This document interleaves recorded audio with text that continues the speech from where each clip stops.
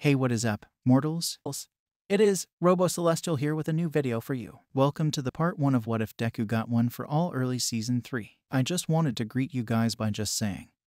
Sit back and relax, you're in for a treat. So, we begin. Adrenaline pumped through Muscular's body. His body mass grew, his muscle fibers sprouted out from under his skin. It was a grotesque sight to behold. Izuku kept his full cowling up. He has a child's life resting in the palms of his hands. He wasn't about to let this bastard get it. In another location, Sero made his way back to the main building, where he knows he will be safe. Passing by the clearing, he sees Mandalay and screams to her, Mandalay. Midoriya told me to tell you he went to get Kota. He is in a clearing at the mountain. Mandalay then uses her quirk to telepathically message everyone. Students, the situation seems dire.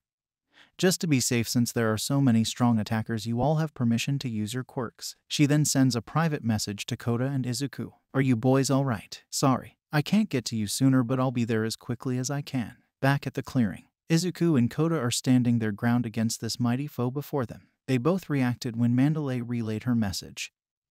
This gave them both courage. It was a massive weight off their chest knowing help will come. Izuku's train of thought was interrupted by a fist aimed straight towards him at an immense velocity. He barely had any time to push Kota out of the way and raise his arms. Resisting the blunt force from Muscular. You better start paying attention, you little shit. An immense tingling shot out Izuku's nerves, followed by a sharp pain running up his shoulders and forearms. His whole body was pushed back a few meters from the continuous weight forced on him. There was barely any floor left Izuku could use as leverage. Only a very long fall. Muscular kept pushing the kid forward, trying to shove him off the cliff though was interrupted by Izuku's next move. He ducked below the muscle-clad fist. Moving under the arm and Midoriya ran one for all at 40%. He bear-hugged both of Muscular's calves and lifted him off the ground, pushing him forward and slamming his head to the floor. Oh no you don't, brat. Muscular clasped his fingers together, intertwining both of his fists into one before slamming his hands down on Izuku's head. Everything went black for Izuku for a second. It grew hard to move as his consciousness was fading. Izuku had no choice but to loosen his grip. That's when the bulky titan grasped the student's shirt and chucked him into the side of the mountain. Izuku's body left a crater as it bounced off the rock, spitting up any moisture that sat in his lungs. In mid-bounce, Muscular rushed the kid, charging with his shoulder and slammed Izuku back into the wall. Punching his face over and over, he followed up with knees to the ribcage, snapping them one by one. Oh, I love it when they go limp. Let's do your arms next. The blond one-eyed freak smiled with great malice, his muscle fibers wrapped around his body in great mass. Increasing his physical prowess and appearance further, he clenched his fists around Deku's forearms and began bending them in the wrong direction like twigs. Izuku shouted out in horror before his face lit up again. He headbutted the bodybuilder wannabe right in the chest with a hundred percent. A massive dust cloud formed from the two of them and all Koda could do is watch in astonishment and terror. What was left when the smoke cleared was a highly reinforced, muscled out ball of flesh. And a viridescent haired student with a bruised neck. Muscular simply relaxed some of his pectoral muscles and laughed maniacally while doing so. Now that was very funny, boy. You got one hell of a head there. How desperate to use your quirk that way, though. We've already done background checks on all of you brats. He grabbed Izuku by the top of his hair, pulling his upper body up by his scalp, practically laughing in his face. You see, I'm not looking for you but a blonde brat who our old boss had a run-in with earlier. Have you seen him? Katsuki Bakugo I mean. Izuku's eyes lit up but his deformed jaw couldn't move. His trembling breath could barely give out comprehensive words. Muscular once again chuckled from the pitiful sight before him. He stood up with the boy's hair in hand before slamming him to the floor over and over. You better give me the answer I need before you die, boy. The brutality of Muscular's inappropriate treatment of a child was sickening. Izuku's face continued to deform from its usual appearance. His eyes bulged out and bruised and his cheeks were gashed with a deep purple. Though this didn't slow down the merciless trash of a human being, he let Izuku bounce off the floor before he grasped his calf. Holding him upside down and threw him like a rag doll across the floor, Izuku's kneecap snapped in the process. Twisting his shin out of place as he rolled across the floor, the friction between Midoriya and the floor is what made him decelerate to a stop right in front of Kota. Buh-huh, look at him dawdle about. Come on, hero. No sleeping on the job. Kota gazed down upon his self-sacrificing savior. Or what was left of him. The terrible sight of Izuku before him siphoned the little kid of all hope and oxygen. There was not even enough air to cry for help, only breathless crying. Kota felt like he was going to pass out. but mustered enough courage to use his quirk. He sprayed Izuku down gently with his water quirk, cleaning him of the bloody mess he was. Izuku's unconscious. His body suffered too much damage to even comprehend the pain his body's going through. In his psyche, there was only a dark cloud that he was shrouded in. At the core of this never ending cloud that expanded out into the horizons were six colorless silhouettes. Outshining the darkness, Toshinori was the only one out of the six that had any detail to him. Hey kid, oh, all might, yeah. It's me, I've been watching your fight. We all have. Seeing you try your hardest like that brings me nothing but a sore heart, kid. If only I was still around, you wouldn't have to push as hard as you have been. Izuku stood there for a few moments, his eyes rushed with tears, slowly breaking down in front of his predecessor. And friend, Toshinori simply approached the broken down adolescent, wrapping his arms around him. I know it's tough, kid, but this isn't my fight anymore. It's yours. All you can do is protect one person at a time. Just don't forget to cherish your own life as well. You are our hopes. Izuku Midoriya, all for one may be gone now but doesn't mean that villainy is. So long as the sins of humanity flourish and get the better of us, Izuku couldn't help but let out all of his sorrows in the form of tears onto All Might's torso. Toshinori patted his back before subtly transforming into someone else. Chin up, kid, you're not dead yet. That voice. It wasn't familiar to Izuku. He paused the waterworks before letting go. He looked up at who the voice came from. It was a tall, bald man, another holder of One for All. Ah, so you're the young man who took on his number seven, is that right? I see you're in quite the pickle. Facing a foe far beyond yourself. Well then, guess you'll have to push your limits, huh? My name's Daigoro Banjo. Otherwise known as the fifth user of One for All. Izuku wiped the tears from his eyes. Listening to what this stranger had to say. Daigoro Banjo. It's nice to meet you. Yeah, I am the seventh. And yeah, I am in quite the bind. Banjo sighed. We're going to have to speed this up. You don't have much time before that rapscallion makes mincemeat out of that kid you're protecting. What I'm about to bestow upon you is my quirk, Black Whip. I won't go into too much detail, but it should be enough for you to face this mighty foe. Use it and win, young man. Midoriya woke up with Kota next to him, gasping for air. Kota's eyes were filled with tears and surprise. Izuku hadn't yet caught up with reality and was wondering what was happening. He looked down to see that his body was wrapped up in black mystical wiring swirling around him. Black Whip surrounded Izuku, forcing his limbs back into place. The pain was excruciating. He began yelling as Black Whip tightened itself, forcing bones to snap back in place and force joints to face the right way. Soon the pain stopped and Muscular laughed maniacally. You wake up and are just now feeling the damage I've done to you, hero. Bah, what a laugh. Yes, please scream more. It only fuels my want to slaughter the likes of you. I hope you're ready for round two. Izuku's body fit itself back to normal like a glove but only because of Black Whip keeping his body that way. Izuku stood back up slowly. It was as if there was nothing out of place or broken. And his body felt easy enough to move. Muscular grew a smile only a deranged mother could love. He leaped off the floor, leaving behind a shockwave, blowing Kota back against a wall. The borderline meatball dive bombed from the air to land on Izuku, however. The determined hero leaped out of the way, letting Muscular create his crater. He prepared himself for the blonde's next upcoming attack.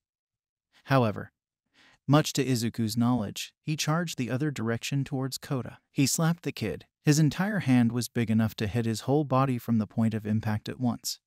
He flew into the rubble. Blood dripped from the child, drooling onto the floor, creating a puddle. Midoriya stood there in disbelief. Tears rolled out from his eyelids. He began walking towards the kid while Muscular laughed and charged at Kota again. Lightning of one for all rushed out from Izuku's eyes, and in an instant he appeared in the air in front of Muscular. He hooked his foot around the back of the crazed villain's neck, slamming him to the floor with a kick. Muscular spat out blood and Izuku grappled his torso. How the hell did you get stronger all of a sudden? Muscular's body mass increased once again with the slivers of muscle fibers wrapping around his body. Izuku followed up with a barrage of combo attacks thanks to Black Whip wrapping itself around Izuku's broken fingers. His punches had an extra oomph about them. This dissipated the newly acquired muscle fibers that Muscular was trying to accumulate. The crazed killer bled behind his teeth as he smirked. He cut Midoriya's combo short by grabbing his arm and twisting it. However, it wouldn't budge due to Black Whip. Izuku merely cranked everything to a 100% and roundhouse kicked the bastard in his cranium. The sound of bone cracking under the pressure roared off the mountainside. Even the crazed villain's slivers of flesh protection remained powerless to Izuku's mighty roundhouse. Muscular flew into the mountain and bounced off the rocky surface of the cliffside. Izuku gave no time for rest and punched into his stupidly oversized pectoral muscles, his fist flying through the flesh just before hitting the skin and slammed muscular to the ground. Izuku screamed in rage, his body pumped full of adrenaline.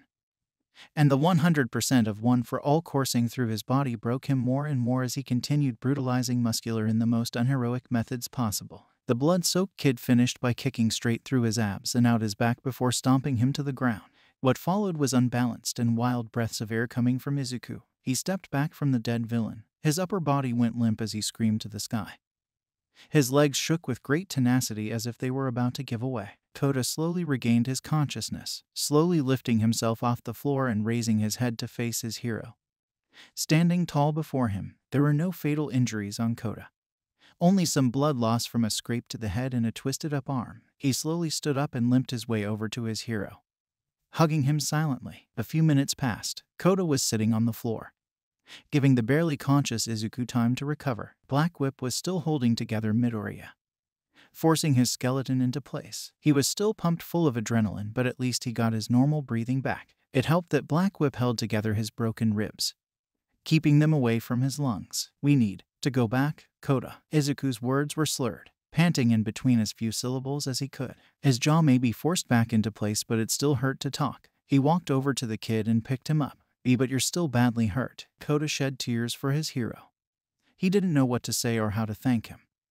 All he could think about is his health. The bad condition he was in was heartbreaking to the young kid. That doesn't matter. Right now, Kota.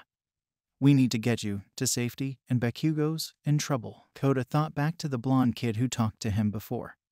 He's also Izuku's friend, so he's also important. If he's in trouble, you can't save him, dummy. Look at yourself. Izuku ignored the young man and rushed back to camp at 40%. Carrying Kota with him, he couldn't risk damaging his body further at a 100. His head went wandering. The reality of what happened back there didn't quite catch up to Izuku. Today, I saved a life, but I ended one as well. A few minutes ago, back in the main building when the attack started, Aizawa tells Vlad King to keep the remedial students safe and to call the authorities. He makes his way outside where waiting for him is a blast of fire. Aizawa managed to barely leap out of the way in time.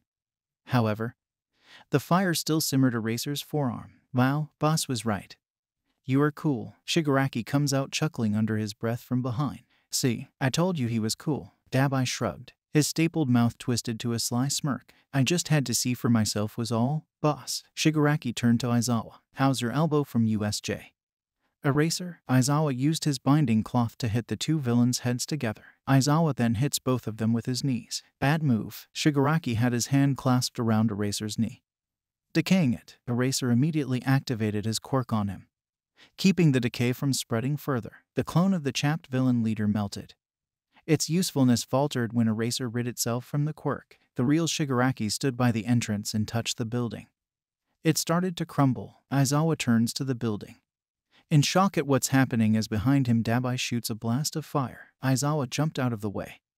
Managing to evade, Aizawa looks at the villain which blocked his quirk and attacked Dabai. His fist flew through Dabai's head like butter. However, the rest of the blue flame conjurer melted into goop shortly after. Wrong again, eraser. The building continued to crumble and the students in it fall to the ground. Aizawa follows the footprints of the clones towards where Twice and Dabai are hiding. Dabai noticed Aizawa approaching and shot fire at him. Aizawa evades with an aerial flip off a tree. Twice was slow to react to Eraser and stared into his eyes. The clones fell into nothing but slop. This set off alarms for Eraserhead. So you're the one doing that? Ha! Aizawa approached closer to Twice, hitting him over the head, knocking him out before he could react. Back at the building, Vlad King gets up as the students are recovering from falling from a second story. He sees Shigaraki, the real one, and attacks him. Shigaraki manages to evade and uses his decay quirk on Vlad King, breaking his support gear. Then making his way to Vlad King's arm, Shigaraki smiled as Vlad King screamed from the pain of his arm crumbling. Blood flowed down the decrepitating arm of Vlad King. He used this opportunity to shoot his blood out and solidify it, encapsulating most of Shigaraki's body with it. The villain's chapped lips curled to a crooked smile. He collapsed all five fingers on the solid blood, causing it to decay from existence, freeing himself. Shigaraki makes his way towards Vlad King and crouches, touching Vlad and siphoned him of his quirk. Now that I have your quirk, I have no use for you. It's time for you to drop dead now.